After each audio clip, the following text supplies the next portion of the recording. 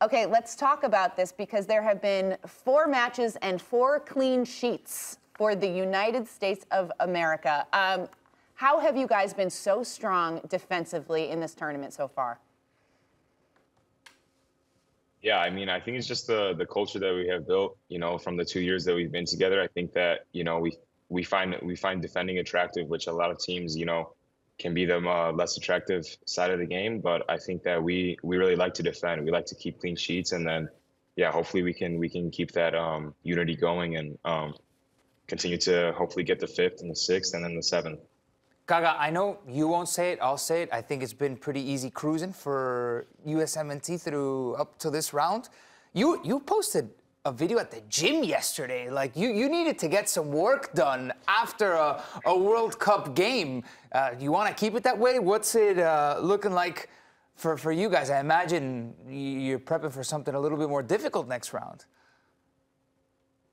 Yeah, I mean, I like to. That's I would go to the gym regardless of any type of game I had. I think it's for me, it's just something to just to continue to keep doing. But um, yeah, I mean, I really like that. I haven't had much to do. I'll take a game like that any single day if we can if we can keep a clean sheet.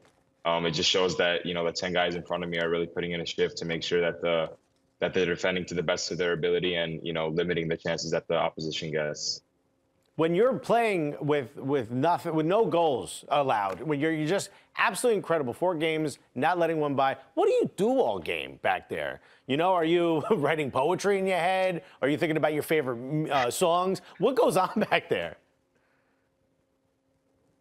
Uh, i mean i think it's a lot it's a little bit different than poetry uh, but um, it's a lot of communication it's a it's a lot of communication because for me, I'm in a position where I can see the entire field.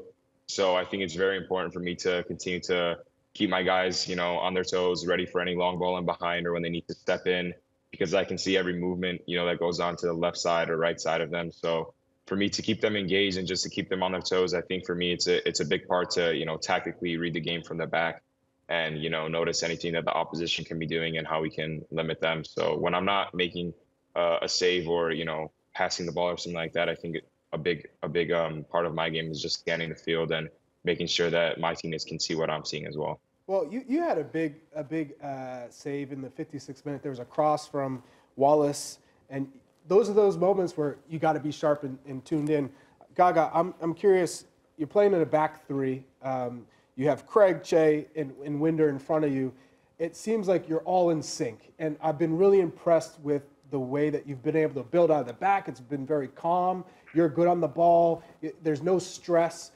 What, how have you seen the, the growth of, of this backline and this team in, in terms of building out of, of, of pressure and, and getting into the final third?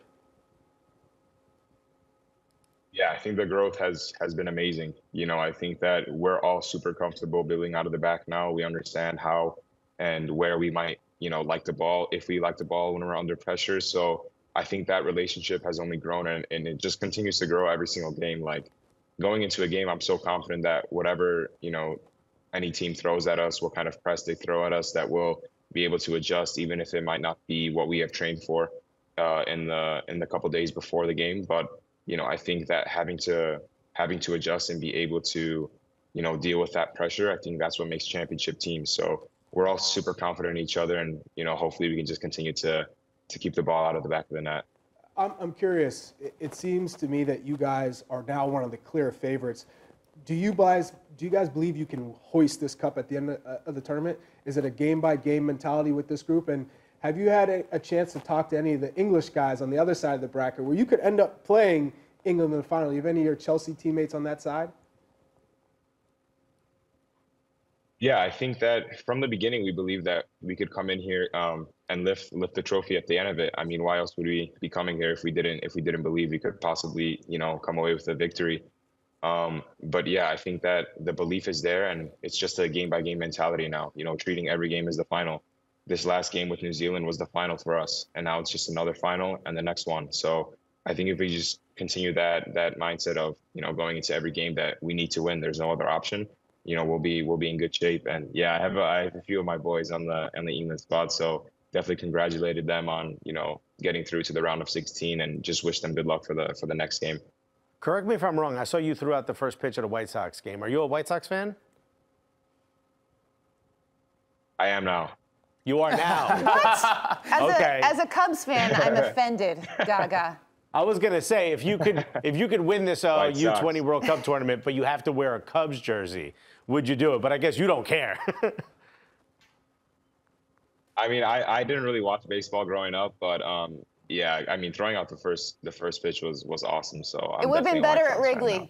Gaga. I'm just saying. Vibes are better at Wrigley. Facts. Big if you can't tell, facts. Susanna's a big Chicago I'm from. Downers Grove, Gaga. You're from Addison. I we're, we're, we're basically neighbors. Oh yeah, yeah, yeah. Yeah. So I, we've got the whole thing. What do you? I have to ask. What do you? What do you miss most about Chicago? I, uh, specifically food, because there are things that I cannot get on the East Coast, like like an Italian beef or a, a Chicago-style hot dog. I'm not a huge deep dish pizza girl, but what, is there anything that you you miss specifically from Chicago? Really? Well, I'll, I'll change my answer then. No, you can Um, say deep dish. I'll no, no probably do- shame. I would I would probably I would probably have to do a deep dish. Like I don't think anything gets much better than that. From who? Which is your favorite? Is it Lou Malnati, Gino's East? Uh, honestly, there's a place downtown in uh, in Chicago called I think it's called Pequod's. Yes. Oh, I'm Pequod's not sure is if I'm, incredible. if I'm pronouncing Pequod's. it correctly. That is, Oh I, my I stand that. Unbelievable. I stand that uh, that deep dish. It's Good very good. choice. Yeah, thank you. I, I- I'm curious. Obviously, there's a huge Polish uh, community in, Yeah. in Chicago. You, your family's Polish.